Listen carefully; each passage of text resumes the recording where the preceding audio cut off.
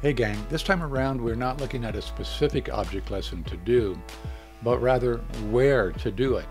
Taking your kids on site is a terrific and involving way to teach Bible truths. Now, if you've been watching my other object lesson videos, you know that they all come with a downloadable lesson plan and student activity page.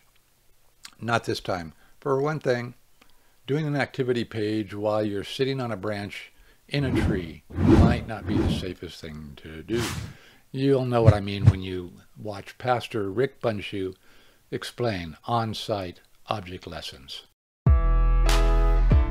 My name is Rick Bundschuh and I'd like to give you an object lesson. Now this is an object lesson that you actually bring to your kids and do in front of them. This is an object lesson that you take your kids to.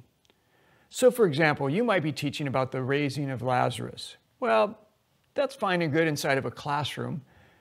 But you know what? What if you packed your kids into your car or your van and you drove to a cemetery, particularly one of those kinds that's got a crypt, and you sat outside that crypt, and then you taught your lesson there, surrounded by tombstones. I guarantee your kids will never forget that lesson by taking them someplace that reminds them and gives them a great picture of what that might have been like to be standing in front, standing in a cemetery, standing in front of a tomb when Jesus said, Lazarus, come out. In fact, you might even want to try that at your cemetery and have a friend hiding behind the crypt. Nah, don't do that. Suppose you're teaching the story of Zacchaeus. You know, the guy who was short of stature and he had to crawl up into the tree to see Jesus. Well, wouldn't it be great to tell that story sitting in a tree? Find a tree that'll hold your kids doesn't have to be that high off the ground even.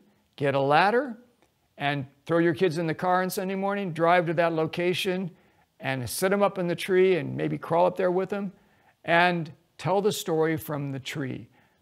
I guarantee you they will never forget that story because if you took them on location, they're getting a bird's eye view of what Zacchaeus did when he looked down at Jesus.